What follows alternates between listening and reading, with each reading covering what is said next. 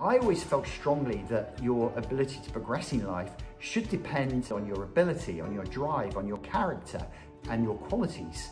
The support that Prime provides the firm is immeasurable. Without Prime, I wonder how much longer it might have taken social mobility um, to get up that board, that senior leadership agenda. A Prime scheme is an opportunity for you, for your organisations, to actually handpick some of the best talent out there. Talent comes in all kinds of shapes and sizes and from all kinds of backgrounds. When I went to open days, when I went to legal fairs, I realised that everyone applying for law had some kind of experience, which I wasn't given until Prime came along. The Prime scheme really helped me in securing a career in law. I would definitely say that my Prime experience definitely did confirm that I wanted to pursue a career in law. I would argue that if we are more diverse uh, as a workforce and as a sector, we are going to be more human, caring, fun workplaces and a, a, a better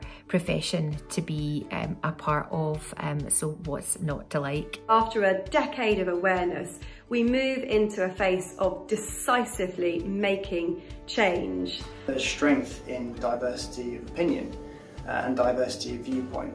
If we all put our will to the shoulder, we can all make a huge difference to the life and the life outcomes of many otherwise disadvantaged young people. So let's go for it.